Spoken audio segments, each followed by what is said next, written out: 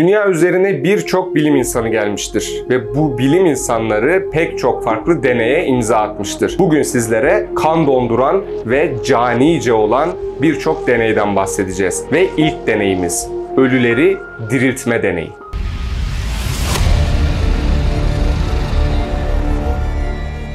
Köpekler üzerinde yapmış olduğu diriltme deneyleriyle tanınan Robert Cornish'i daha önce duymuş muydunuz? Robert Cornish 1930'lu yıllarda kendi icat ettiği tahterevalliye benzeyen bir yapıyla ölüleri diriltme deneyleri yapıyordu. Teeterboard ismini verdiği bu yapıda köpekleri kullanarak ölmüş köpekleri tekrar hayata döndürme çalışmaları gerçekleştiriyordu. Peki Robert Cornish bu makinayla ölü hayvanları diriltme deneyini nasıl gerçekleştiriyordu? Robert Cornish deneylerine başlamadan önce uygulama yapacağı hayvanı seçiyordu. Ardından hayvanı öldürebilmek için kanındaki pıhtılaşmayı durduracak olan tuzlu bir karışım enjekte ediyordu. Ardından Robert Cornish deneye başlamadan önce hayvanın ölmesini bekliyordu. Deney hayvanı öldükten sonra yaklaşık 10 dakikanın ardından Robert Cornish hayvanın solunum ve kan dolaşım sistemini bir makineye bağlayarak yapay bir kan dolaşımı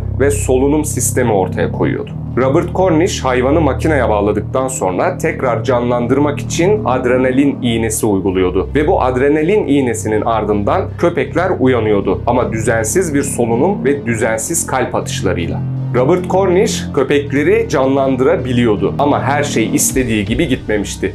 Çünkü hayata dönen deneklerin çoğunda beyinsel hasar veya körlük gibi yan etkiler bulunuyordu. Robert Cornish'in asıl amacı köpekleri hayata döndürmek falan değildi. Onun tek bir hayali vardı. İnsanları canlandırabilmek. Peki sizce Robert Cornish'in yaptığı bu deneylerle bir insanı canlandırmak mümkün olabilir mi? Robert Cornish'e göre bu mümkündü ve bunun tek yolu ölmüş bir insanın kan akışını yeniden sağlayabilmekti. Robert Cornish canlandırmak için kendi icat ettiği yöntemin dışında başka yöntemler de deniyordu. Örneğin en çok kullandığı yöntemlerden biri ölmüş olan olan hayvanlara elektrik şoku vererek onları tekrar hayata döndürmek. Tabi edindiği bu bütün deneyimi tek bir amaç için insanları tekrar canlandırabilmek için yapıyordu. Robert Cornish deneylerine uzun süre devam etti. Ama bir engel çıkmıştı karşısına. İnsanlar bu deneyleri duymuş ve tepki göstermeye başlamışlardı. Çünkü köpek gibi masum hayvanların böyle canice deneylerde kullanılması istenmiyordu ve Robert Cornish'in deneylerine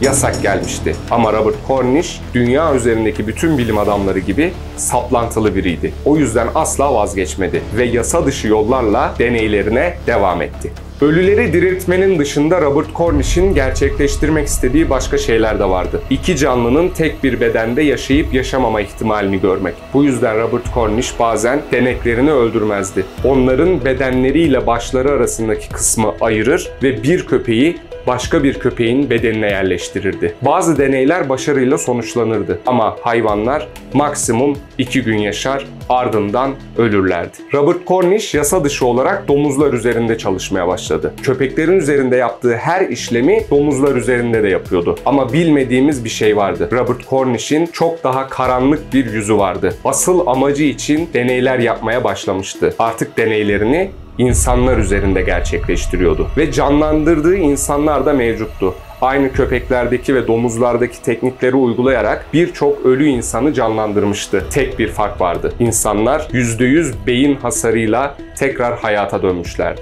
Robert Cornish hayatı boyunca bu deneylere hiç ara vermeden devam etti ve ölmeden önce yakın çevresine söylemiş olduğu tek bir şey vardı. Eğer bana imkan verilseydi ve biraz daha zamanım olsaydı ölmüş insanları %100 beyin hasarı olmadan hayata döndürebilirdim dedi. Peki sizce Robert Cornish'in yapmış olduğu deneyler bir başarı elde edebilmiş miydi? Yani o deneyler olmasaydı belki de bugün erişmiş olduğumuz teknoloji bu kadar gelişmiş olmayacaktı. Sizler Robert Cornish hakkındaki düşüncelerinizi yorumlarda belirtirken bizler bir diğer deneyimize geçiş yapalım. İnsanoğlu yaratılışı gereği birçok farklı ortamda ve birçok farklı insanla uyum içerisinde yaşayabilir. Peki ipin ucunun kaçtığı noktalarda insanlar ne tepki verir? İşte bu soruyu merak eden bilim insanları 1971 yılında uyum ve itaatin insan davranışları üzerine olan etkilerini görmek için canice bir deneye karar verdiler. Stanford hapishanesi deneyi.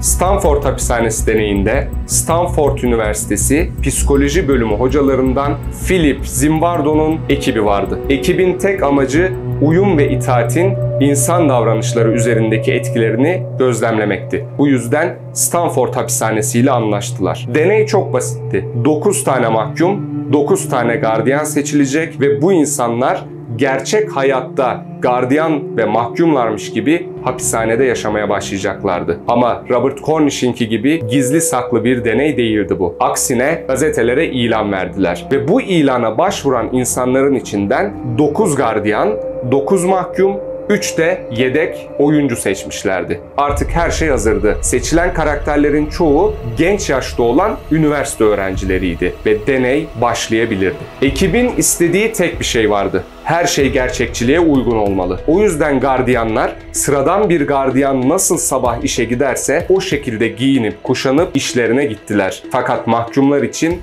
süreç biraz daha zordu. Öncelikle polisle yapmış oldukları anlaşmayla birlikte bütün mahkumların üstlerine işlemedikleri bir suç attılar ve polisler bütün mahkumların evlerine baskın yaptı. Onları ters kelepçeyle evlerinden çıkardılar ve bir mahkum hapishaneye nasıl götürülürse aynı şekilde götürdüler. Artık deney başlayabilirdi. Deneyin amacı belliydi. Uyum ve itaatin insanlar üzerindeki etkilerini gözlemlemek. Uyum sağlayacak taraf, itaat edecek taraf belliydi. Mahkumlar ve onlara baş eğdirecek tarafta gardiyanlardı. Ama bu iki ekibin arasında bir bağlantıya ihtiyaç vardı. Bu yüzden Philip Zimbarde oraya hapishane müdürü olarak yerleşmişti ve tek amacı gardiyanlarla mahkumların arasındaki köprü olmaktı. Deney başlamadan önce gardiyanlara uyarılar yapılmıştı. Fiziksel şiddet olmayacak. Genelde psikolojik şiddetle itaat ettirilmeye zorlanacaktı. Fakat mahkumların üzerindeki etkiler ve gardiyanların davranışları beklendiği gibi olmadı. Gardiyanlar fiziksel şiddet olmadığı için mahkumlar üzerindeki itaat etkilerini aç bırakarak, uykularından uyandırarak, hücrelere hapsederek göstermeye çalıştılar. Ama bir süre sonra bazı gardiyanlar fiziksel şiddete başvurdu. Bunun sonucunda deneyin bozulmasını istemeyen ekip buna göz yummuştu. Mahkumlar itaat etmek zorunda kaldı. Diğer gardiyanların da bu durumlara tepki göstermemesi üzerine şiddetin seviyesi gitgide artmaktaydı. Birkaç günün ardından mahkumlarda beklenmedik bir etki oluşmaya başladı. Bir mahkum akli dengesini kaybetti ve gerçeklikle kurgunun arasındaki bağlantıyı kuramaz olmuştu. Fakat deney bitemezdi. O yüzden o mahkumun yerine daha önce belirlenmiş 3 adaydan bir tanesi yerleştirildi ve deney devam etti. Deney devam etmesine ediyordu ama Zimbarde'nin ekibi bile oluşan bu durumdan rahatsızlık duymaya başlamıştı. Bu yüzden deneyi beklenenin öncesinde bitirmek zorunda kaldılar. Çünkü gardiyanlarda da mahkumlarda da psikolojik olarak bir çöküş başlamıştı. Gardiyanlar karşı taraf itaat ettikçe daha da güçleniyor, mahkumlarsa ezilerek psikolojik ve fiziksel şiddete maruz kalıyorlardı. Deney bittiğinde ekibin tek bir çıkarımı vardı. Herkes uyum ve itaatin sonunda davranışlarını değiştirebilir. Gardiyanlar gibi bir güce sahip olduğunda bunu abartabilir, mahkumlar gibi ezilmeye başladığında baş kaldırmaktan yoksun olabilir. Bu deneye direnebilecek insan sayısı çok azdır.